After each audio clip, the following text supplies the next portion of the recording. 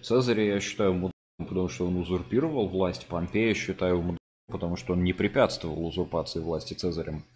Потому что у Помпея было больше легионов, чем у Цезаря. Когда Цезарь пересек Рубикон, можно было, конечно, да, пришлось бы утопить Рим в крови. Но я считаю, это того стоило. Необходимо было, необходимо было утопить Рим в крови. Когда происходит такая хуйня, да, нужно было Цезаря остановить любой ценой.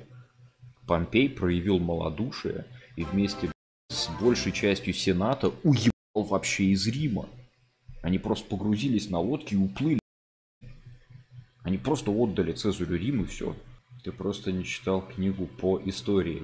Чувак, ты это пишешь в ответ на любой тейк, нахуй. Причем ты пишешь по истории через дефис, нахуй, каждый раз. Помпей все правильно сделал, у него в Италии было меньше легионов. Нет, неправда. В распоряжении легитимной власти Рима легионов было больше даже если не лично у Помпея.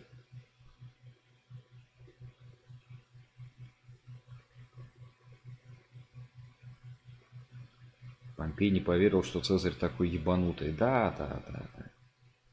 Что думаешь о императоре Аврелиане и культе непобедимого солнца? Э, ничего не думаю.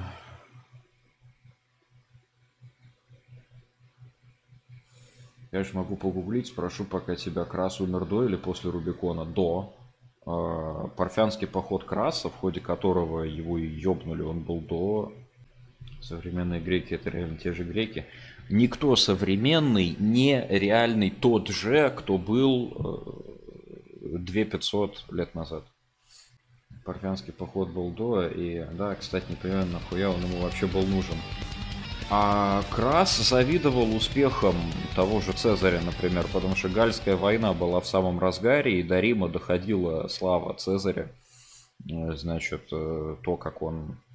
Ну, ну, то, как они вырезали безоружных женщин и детей, в принципе, особо не доходило.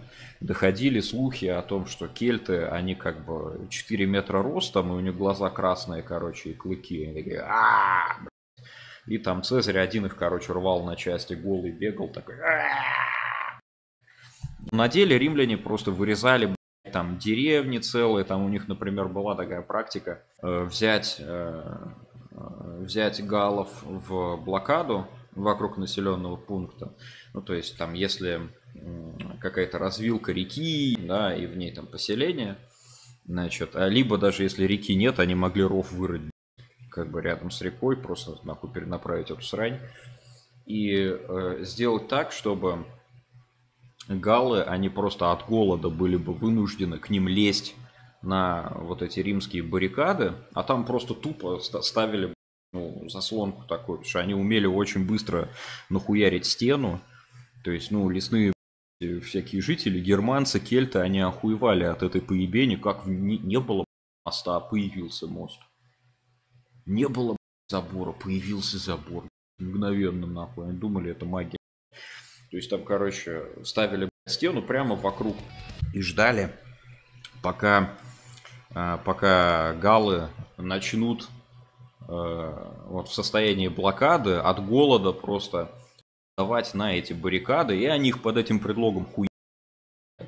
Причем это никогда даже особо не скрывалось. Ты это в записках о Гальской войне найти можешь от самого Цезаря. Он просто считал, что это нормально. Цезарь тупо вырезал целую цивилизацию нахуй. А, просто чтобы пограбить по факту. То есть они даже колонизировать никого не стали. И потом тебе будут рассказывать про, ой, там, романизированные галлы. Да, да, романизированные, да, да. Ну, просто те, которые были ближе, они уже романизировались, и их уже хуярить было нельзя. А те, которые жили подальше, их вырезали просто. Вот так они и романизировались. Казалось бы, это самый богатый чел в мире.